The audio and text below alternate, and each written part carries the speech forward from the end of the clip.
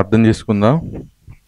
ప్రేమ కలిగిన దయగలిగిన కృప కలిగిన మా దేవ మీ ఘనమైన నామాన్ని బట్టి స్తోత్రాలు స్థుతులు చెల్లించుకుంటూ ఇంతవరకు మమ్మల్ని నడిపించిన విధానం బట్టి స్తోత్రాలు చెల్లిస్తూ తండ్రి ఈ దినమున మీ మాటలు వినడానికై మీ సన్నిధిలో మేము చేరింటుండగా మీరే మాట్లాడమని ప్రభు యేసుక్రీస్తును మేము స్పష్టంగా తెలుసుకోవడానికి యేసుక్రీస్తు ద్వారా మేము ఎరుగుటకు సహాయం చేయమని నాయనా క్రీస్తునందు మేమేమై ఉన్నామో క్రీస్తు మాకు ఏమై ఉన్నారో స్పష్టంగా తెలుసుకొని నాయనా ఈ నూతన సంవత్సరంలో క్రీస్తు యేసులో మేము భద్రము చేయబడేటువంటి స్థితిలో విశ్వాసమూలంగా జీవించే కృప మా ప్రియులందరికీ వాక్యం వినేవారందరికీ దయచేయమని యేసుక్రీస్తు నామమున స్తోత్రం చెల్లించి ప్రార్థించి అడిగి వేడుకుంటున్నాం తండ్రి.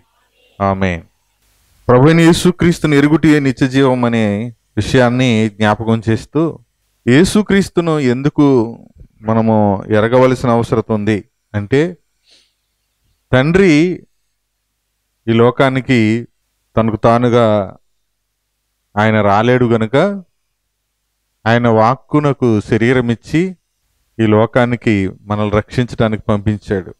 తండ్రి రక్షకుడు తండ్రే సృష్టికర్త తండ్రే దేవుడు ఆయన సర్వాత్మలకు దేవుడు తండ్రి. మరి అలాంటి తండ్రిని మానవుడు చేరుకోవడానికి మానవుడు ఏ విధంగా ప్రయత్నం చేసినా అది మనిషికి సాధ్యం కాలేదు కాబట్టి దేవుడే తన వాక్కును శరీరధారిగా కృపా సత్య సంపూర్ణుడిగా మన మధ్యకు పంపి. దేవుడే వచ్చాడు అంటే చాలామంది అభ్యంతర పడుతున్నారు. దేవుడు రావటం అంటే మరి ఏదో రాష్ట్రపతి గారు మన ఊరు వచ్చారన్నట్టు సీఎం గారు మా ఇంటికి వచ్చారన్నట్టు ఇలా ఊహించుకుంటున్నారు వాళ్ళు.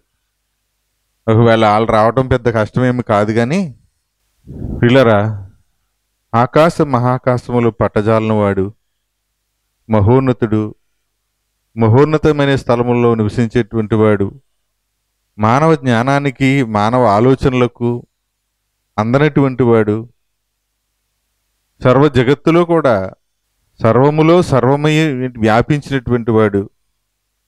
అసలు ఆయనను ఎలాగ వర్ణించాలో కూడా మానవుడికి తెలియనటువంటి స్థితిలో ఉంటుండగా యేసుక్రీస్తు వారిని ఈ లోకానికి పంపించడం ద్వారానే ఆ తండ్రిని మనం ఎరగటానికి దేవుడు సహాయం చేశాడు మనకి. అందుకనే యోహాన్ సువార్త ఒకటి పద్దెనిమిదిలో ఆ విషయాన్ని చెప్పాడు. ఎవడును ఎప్పుడైనను దేవుని చూడలేదు. తండ్రి రొమ్మునున్న అద్వితీయ కుమారుడే జనతైక కుమారుడే అని ఆయనను బయలుపరిచెను అన్నాడు. అక్కడ రెండెంకేసి అనేక ప్రాచీన ప్రతులలో అద్వితీయ దేవుడే అని పాఠాంతరం అని రాశాడు. అద్వితీయ కుమారుడే అంటే అర్థం ఏంటి అద్వితీయ దేవుడే ఆయనను బయలుపరిచాడు. అంటే ఎవరిని బయలుపరిచాడు? అద్వితీయుడు అని దేవుడు అద్వితీయుడు అంటే దేవుడు ఇద్దరు కాదు ముగ్గురు కాదని అర్థం వస్తుంది. దేవుడు ఒక్- ఒక్కడే ఇద్దరు కాదు ముగ్గురు కాదు అని అర్థం వస్తుంది. కానీ దైవత్వంలో ముగ్గురు ఉన్నట్లుగా మనకు కనిపిస్తూ ఉన్నా ముగ్గురు కంటే ఎక్కువ మంది ఆయనలో ఉన్నారనే సంగతి కూడా అర్థమవుతోంది. ముగ్గురు ఉన్నారా ముగ్గురు కంటే ఎక్కువ మంది ఉన్నారా? దైవ దైవత్వంలో? దేవునిలో? దేవునిలో ఎంతమంది అయినా ఉండొచ్చు. ఎలా అయినా ఉండొచ్చు. అలా అని చెప్పేసి మరి వేరే మ- వేరే విశ్వాసాలు వేరే నమ్మకాలలో ఉన్నట్లుగా మన మనం గతకాలంలో ఉన్నటువంటి నమ్మకాల్లో ముప్పై మూడు కోట్ల ముప్పై మూడు లక్షల ముప్పై మూడు వేల ముప్పై మూడు వందల ముప్పై మూడు అట. వాళ్ళ పేర్లు కానీ అసలు వాళ్ళ అడ్రస్ కానీ వాళ్ళ గురించి పేర్లు చెప్పుకోవడానికి కూడా నేను అర్థమైందా? ప్రపంచ జనాభా కంటే ఎక్కువ మంది ఉన్నారన్నమాట. ఉన్నారని ఒక మాట చెప్తూ ఉంటారు. దాని గురించి మనకు ఇప్పుడు అవసరం లేదు కానీ యేసుప్రభు వారి నోట వచ్చిన ఒక మాటను మనం చూస్తే యోహాను సువార్త పద్నాలుగో అధ్యాయము ఇరవై వచనంలో యేసుప్రభు ఒక మాట చెప్పారు చూడండి. నేను నా తండ్రి ఎందును మీరు నా ఎందును నేను మీ ఎందును ఉన్నామని ఆ దినమున మీరు ఎరుగుదురు అన్నాడు. ఒక దినం గురించి చెప్పాడు. ఆ దినములో మీరు ఎదిరి ఏం ఎరుగుతారు? గత వారం జ్ఞాపకం చేశాను. అద్వితీయ సత్యదేవుడు అయిన నిన్నును నీవు పంపిన యేసుక్రీస్తుని ఎరుగుటియే నిత్యజీవం యేసుక్రీస్తుని ఎరుగుటే నిత్యజీవం అన్నాడు. యేసుక్రీస్తుని ఎరిగితే నిత్యజీవం అని దేవుడు చెప్పిన మాటనే కాదు. యేసుక్రీస్తు ద్వారా మనం పరలోకపు తండ్రిని ఎరగాలి. అని మాటలు అది కూడా బైబిల్లోనే ఉన్నాయి. కాబట్టి తండ్రి మాత్రమే దేవుడు కుమారుడు దేవుడు కాదు. పరిశుద్ధాత్ముడు దేవుడు కాదు అనేటువంటి వారు చాలామంది లోకంలో ఉన్నారు కాబట్టి లోకంలో ఉన్నారా? క్రైస్తవంలోనే ఉన్నారా? క్రైస్తవ మతంలోనే చాలామంది ఉన్నారు.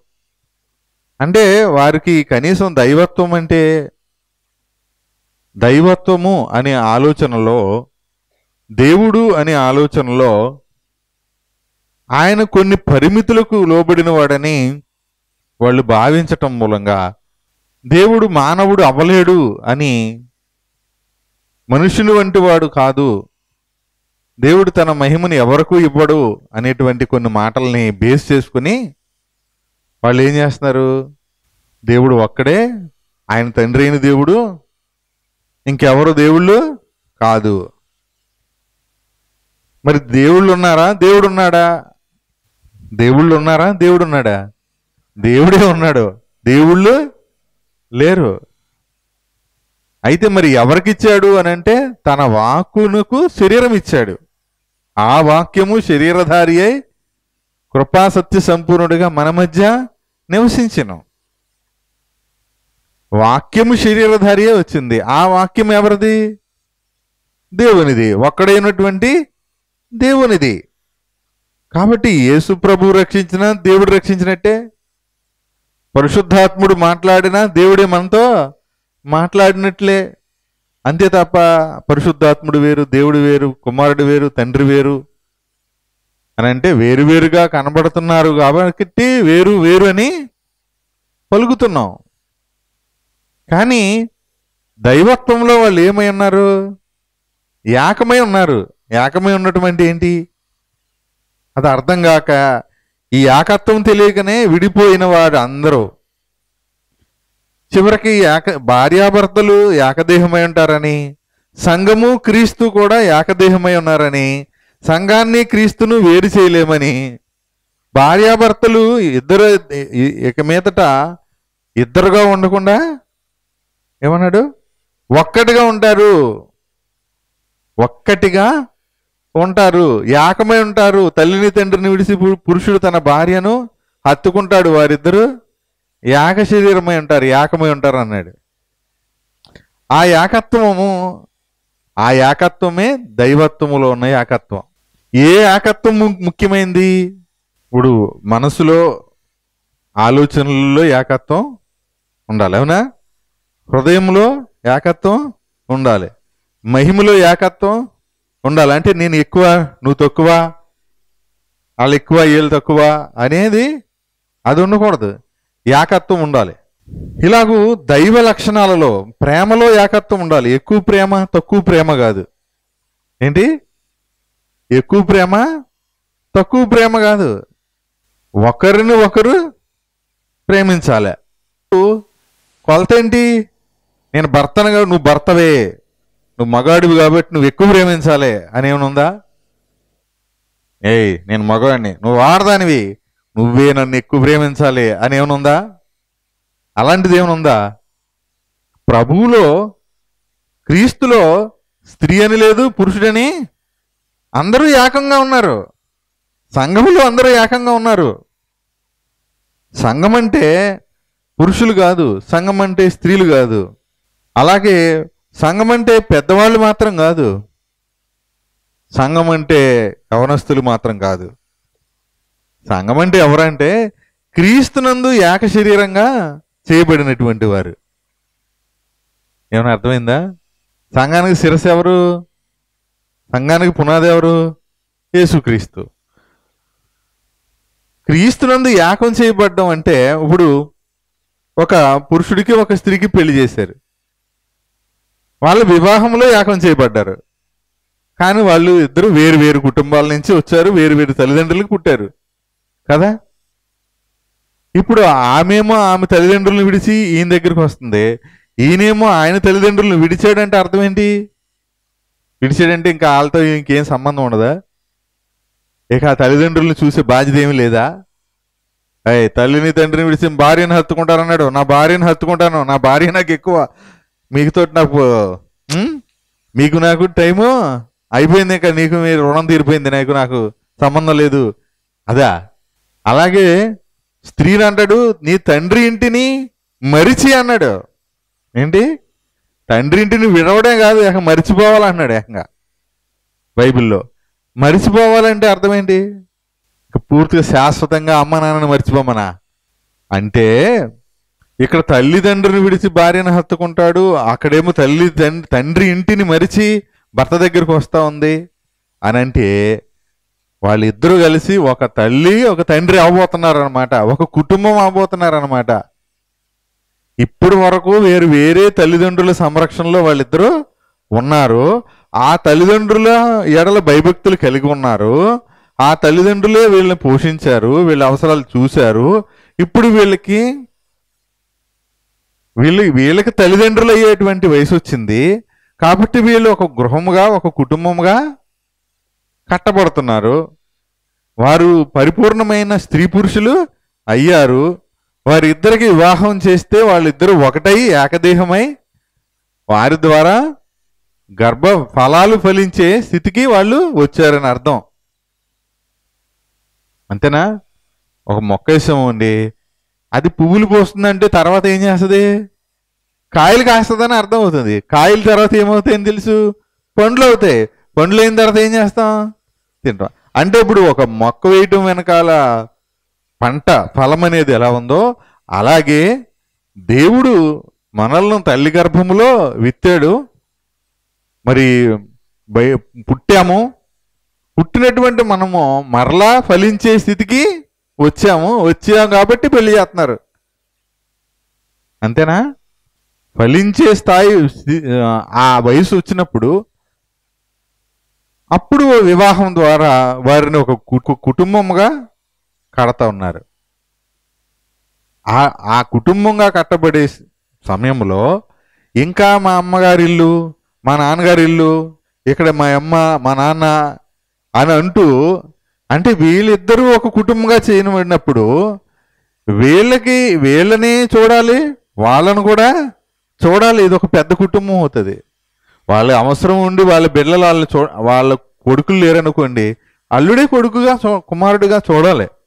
అది బాధ్యత అది మినిమం ప్రేమ ఉండాలి.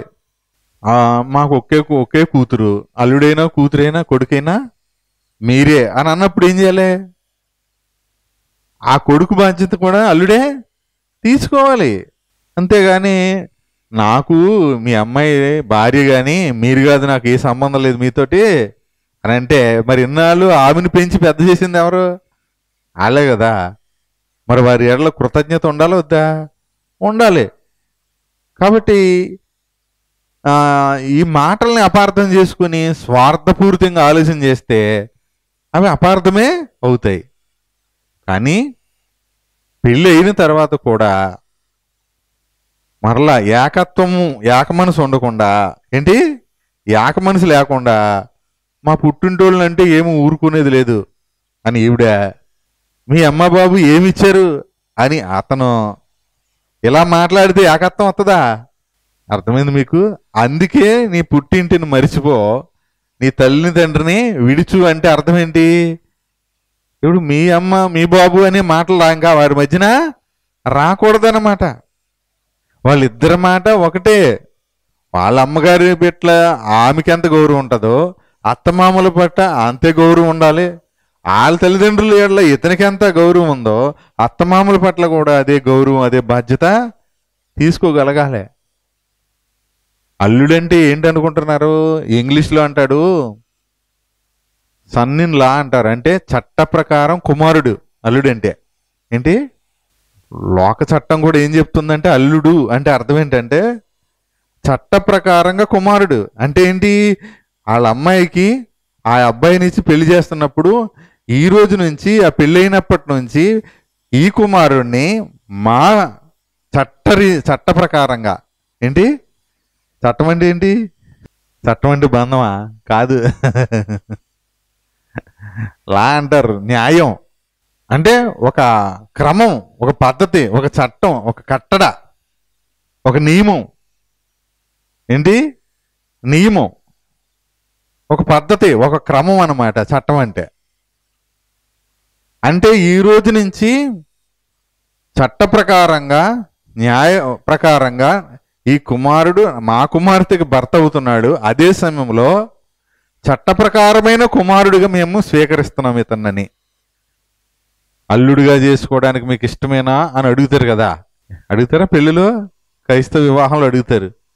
ఈ అమ్మాయిని మీ కోడలుగా చేసుకోవడానికి మీ అబ్బాయికి భార్యగా మీకు కోడలుగా చేసుకోవడానికి మీకు ఇష్టమేనా అని వీళ్ళని కూడా అడుగుతారు. వాళ్ళని మాత్రమే కాదు వీళ్ళిద్దరూ వివాహం ద్వారా ఏకమవడానికి వీళ్ళిద్దరికీ పెళ్ళి చేయడానికి సంగమా మీకందరికీ ఇష్టమా? మీకు ఏమైనా చట్టపరమైనటువంటి అభ్యంతరాలు ఏమైనా ఉన్నాయా? ఉంటే ఇప్పుడే చెప్పాలి. ఇంకెప్పుడు చెప్పకూడదు. అసలు ప్రకటన అది చేయాలి. ఎవడు ఇష్టం వచ్చినట్టు వాళ్ళు చేసేస్తున్నారు. ఇప్పుడే చెప్పండి ఏమైనా అభ్యంతరాలు ఉంటే. ఎందుకంటే పెళ్ళి జరిగిన తర్వాత వాళ్ళ మధ్యలోకి ఎవరు ఎంటర్ అవ్వడానికి? దేవుడు తప్ప మరొకరు ఎవరు ఎంటర్ అవ్వడానికి? వీల్లేదు. దేవుడు జతపరిచిన వారిని మనుషుడు వేరు చేయకూడదు. ఈ పద్ధతి ఉందన్నమాట. కనుక వాళ్ళిద్దరూ వేరు వేరు కాదు. ఎవరితో చెప్పినా రెండో వ్యక్తితో చెప్పేసినట్టే ఇంకా. అలా ఉండాలి. అని ఏకత్వం. ఏకత్వం అంటే అన్ని విషయాల్లోనూ ఏకత్వమే. కాబట్టి ఆ ఏకత్వం అనేది చివరికి పేగు పంచుకొని కన్న కడుపు గర్భాన్న మోసి పెంచిన ఆ తల్లికి కొడుకు కూడా ఉండదు. ఏమైనా అర్థమైంది మీకు? ఈ భార్య భర్తల మర్మము గొప్పదన్నాడు అందుకనే. ఏంటి? ఈ మర్మము? పురుషుడు తన తల్లిని తండ్రిని విడిచిన భార్యను హత్తుకుంటాడు. ఈ మర్మము గొప్పది. అయితే నేను భార్య భర్తల గురించి మాత్రం చెప్తున్నాను అనుకుంటే మీరు బలహీనమైన మనస్సాక్షి కలిగి ఉంటారు. అప్పుడు పెద్ద భార్య అంటే ఏడ్చి ఆడదే. అని అనుకుంటాడు. భర్త అంటే ఉన్నాళ్ళే. అన్నట్టుగా మోటగా ఆలోచన చేస్తారని నేను చెప్తున్నది స్త్రీ పురుషుల గురించి అనుకోకండి. నేను సంఘమును గుర్చి క్రీస్తుని గుర్చి చెప్పుచున్నాను అన్నాడు ఎపిసిల్కి రాసిన పత్రికలో ఆ మాట చూద్దాం ఒకసారి. ఇది ఇవి ఈ విధమైన ఆలోచన ధోరణి లేకనే వివాహాలు అంటే ఏంటో ఆట కింద ఉంది. వీళ్ళకి పెళ్ళి చేసుకునే వాళ్ళు కూడా ఎలా ఉంది? ఆట కింద ఉంది. అప్పుడేమో నచ్చాడంట. తర్వాత కొన్ని రోజులు పోయాక వాడేసిన తర్వాత నచ్చలేదు అంటున్నారు. అండి పట్టు చీర కట్టేసుకొని పెళ్ళి చేసుకొని పెళ్ళి అయిపోయిన తర్వాత ఆ చీర కూడా నలిగిపోయిన తర్వాత ఇప్పుడు అట్టుకెళ్ళి ఆ షాపు దగ్గరికి పట్టుకెళ్ళి నచ్చలేదు నాకు చీర అని ఇచ్చేస్తాడు తీసుకుంటాడా? ఆఫ్టర్ ఆల్ ఒక చీరే తీసుకోడు కదా. తొడిగేసిన డ్రెస్ తీసుకెళ్ళి ఒక రోజంతా తొడిగేసి రెస్టారెంట్ తిరిగేసి ఇప్పుడు అలాంటి ఆన్లైన్లో మోసాలు అలాగే చేస్తున్నారంట. ఒక రోజు వాడేసి శుభ్రంగా మడతెట్టేసి ఇస్త్రీ చేసేసి మళ్ళీ వెనక పంపించేస్తున్నారు. మోసం. తీసుకుంటారు వాడేసింది ఎవరన్నా. వాళ్ళు తినే కంచం వాళ్ళు తినే తినే తినేది మళ్ళీ కవర్లో వేసేసి ప్యాక్ చేసేసి ఎవరికైనా ఇస్తే తింటారా? తెలిస్తే తింటారా? నేను తినగా మిగిలింది నీకు పంపించాను నా ప్లేట్లో కలిపేసింది అని చెప్తే తింటారా? ఎంగిలిదే తినరు కదా. అర్థం కాలేదు ఏకత్వం అంటే. చూడండి ఇదిగా అన్నాడు చూడండి. ఎఫ్సి ఐదు ముప్పై ఒకటి. ఏ ఈ హేతు అన్నాడు పైన కారణం చెప్పాడు. యేసు ప్రభువుకి సంఘానికి ఉన్న సంబంధాన్ని తెలియజేశాడు. సంఘం కొరకు ప్రభువు చేసినటువంటి దానిని తెలియచేశాడు ఏం చేశాడు అని అంటే చూడండి ఇరవై ఏడో వచ్చును ఇరవై ఆరో వచ్చును ఇటు అటువలే క్రీస్తు కూడా సంఘమును ప్రేమించి ఏం క్రీస్తు ఏం చేశాడు? సంఘాన్ని ప్రేమించి మర్చిపోకండి సంఘాన్ని ప్రేమించింది ఎవరు? యేసుక్రీస్తు. సంఘాన్ని ప్రేమించాడంటే సంఘంలో ఉన్న ప్రతి ఒక్కరిని ప్రేమించాడా? కొంతమంది ప్రేమించలేదా? అందరినీ ప్రేమించాడు. సంఘంలో ఒకవేళ బాగా మంచి వాళ్ళు ఉండొచ్చు కొంత చెడ్డవాళ్ళు కూడా ఉండొచ్చు బలహీనలు కూడా ఉండొచ్చు మాట నిలబెట్టుకోలేనోడు కూడా ఉండొచ్చు. ఉంటారండ్రా నూటికి నూరు శాతం అందరూ హండ్రెడ్ పర్సెంట్ కరెక్ట్గా ఉంటారా? ఉండరు. అయితే అయినా క్రీస్తు ఏం చేశాడు? సంఘమును ప్రేమించి అది కలంకమైనను ముడత అయినను అట్టిది మరి ఏదైనను లేక పరిశుద్ధమైనదిగాను నిర్దోషమైనదిగాను ఆ మహిమగల సంఘముగాను ఏంటి మహిమగల సంఘముగాను ఆయన తన ఎదుట దాని నిలబెట్టుకోని వల్లని వాక్యముతో ఉదక స్నానము చేత దానిని పవిత్రపరిచి పరిశుద్ధపరుచుటికై దాని కొరకు తను తాను అప్పగించుకునేను. సంఘము కొరకు యేసుక్రీస్తు తనను తానే అప్పగించేసుకున్నాడు. అంటే ఇప్పుడు సంఘము కొరకు క్రీస్తు తండ్రిని విడిచి వచ్చాడు వచ్చాడా రాలేదా? పరలోకాన్ని విడిచి భూమి మీదకి వచ్చాడు. వచ్చి నువ్వు పంపేసావు కాబట్టి భూమి మీదకి పాపిస్ట్ లోకానికి నీకు నాకు సంబంధం లేదన్నాడా? ఇక్కడ తల్లిని తండ్రిని విడిచి భార్యని హత్తుకుంటున్నాడు. కానీ భార్యతో ఏకమైపోయి తల్లిదండ్రుల్ని హీనంగా చూస్తుంది లోకం. కానీ యేసుక్రీస్తుని జ్ఞాపకం చేసుకోండి. మన కోసం తండ్రి ఇంటిని విడిచాడు. ఇక్కడ భార్య మంచిదవ్వచ్చు లేకపోతే తల్లిదండ్రులతో ఉంటే నేను నీతో ఉండనని చెప్పొచ్చు. ఈ బలహీనమైన మట్టి కట్టాలి కాబట్టి కానీ అప్పుడు ఈ పెండ్లి కొడుకు ఈ ఇతడు ఈ పురుషుడు ఆ స్త్రీని ద్వేషించడం వచ్చు. కదా? కానీ యేసుక్రీస్తు ఏ మంచితనం చూసి ప్రేమించాడు మనల్ని? మనల్ని ప్రేమించడానికి ఆ పురుషునికి ఏమైనా మనలో ఏమైనా అర్హత ఉందా? చెప్పండి. ప్రేమించబడే అంత అర్హత ఉందా? యోగ్యత ఉందా మనకి? లేదు. అయినా ప్రేమించి తండ్రి ఇంటిని విడిచి వచ్చాడు. ఇది బాగా గుర్తుపెట్టుకోవాలి సంఘం. ఈ సంఘం ఈ సంగతిని బాగా గ్రహించాలి ప్రభు ప్రేమని. మనం ఎప్పుడు పవిత్రంగా పరిశుద్ధంగా దేవుడు కోరినట్లుగా బ్రతుకుతామంటే క్రీస్తు పరిశుద్ధతను ఎరగాలి క్రీస్తు ప్రేమను ఎరగాల క్రీస్తు మహిమను ఎరగాల ఆ క్రీస్తు మనసును ఎరగాల. ఇంకా చెప్పాలంటే పరిపూర్ణంగా క్రీస్తును నేర్చుకోవాలి. ఏంటి? అందుకే ఓ మాట చెప్తాడు యోహాను ఆయన పరలోకంలో ఆయన ఎట్టివాడై ఉన్నాడో ఈ లోకంలో మనము కూడా అట్టివారమై ఉన్నాము. అంటే ఏంటి? ఆయన పరలోకంలో ఉన్నాడు తండ్రి కుడి పార్శ్వమున. మనం కూడా ఎపిసి రెండు ఏడు ప్రకారం పరలోకంలో కూర్చున్నాము. అంత మాత్రమే కాదు అక్కడ నుండే ఇక్కడ బతుకుతున్నాం. అక్కడ ఉండి ఇక్కడ బతుకుతున్నాం. ఇదేంటిది? అక్కడ ఉండి ఇక్కడ బతకడం కుదురుతుందా? అంటే మన జీవం ఎక్కడుంది? అక్కడ ఉందట మన ఆస్తి ఎక్కడుంది? అక్కడ ఉంది స్వాస్థ్యం. కానీ ఆ స్వాస్థ్యమని యేసుక్రీస్తే ఏసుక్రీస్తుని ఈ భూమి మీద మనం అనుభవించాలి. అదే చూడండి ఒక మాట. పిలుపులకు రాసిన పత్రిక మూడో అధ్యాయము పంతొమ్మిదో వచనములో ఒక మాట చెప్తూ అన్నాడు వారు కడుపు వారి దేవుడు వారు తాము సిగ్గుపడవలసిన సంగతులు ఎందు అతిశయించి భూ సంబంధమైన వాటి ఎందే మనసు ఉంచుతున్నారు అన్నాడు. ఎవరెళ్ళు? ఎవరమ్మా? క్రీస్తు శిలువకు శత్రులుగా నడుచుకుంటున్న వారు పద్దెనిమిదో వచనం. ఏంటి? క్రీ అనేకులు క్రీస్తు శిలువకు శత్రులుగా నడుచుకునిచున్నారు. వీరిని గూర్చి మీతో అనేక పర్యాయములు చెప్పి ఇప్పుడు నువ్వు ఏడ్చుచూ అంటే పౌలు గారు ఏకంగా ఏడుస్తూ చెప్తున్నాడు. మనకేమో అసలు మనకు దాని గురించి ఏడుపు రాదు. మనం అక్రమంగా నడుచుకొని దానివల్ల వచ్చే పర్యవసానాలకు ఏడుస్తూ ఉంటాం. ఇప్పుడు మనకి ఏడుపు వచ్చిందంటే అది మనం చేసుకున్న స్వయం కృతాపరాధమే. ప్రభువుని నమ్మగలిగితే ప్రభునందు ఆనందించగలుగుతాం.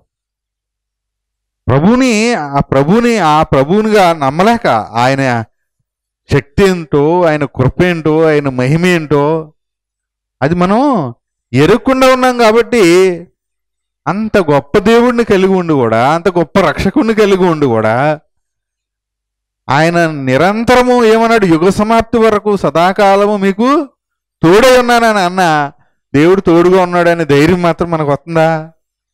రావట్లేదు. ఎందుకు రావట్లేదు?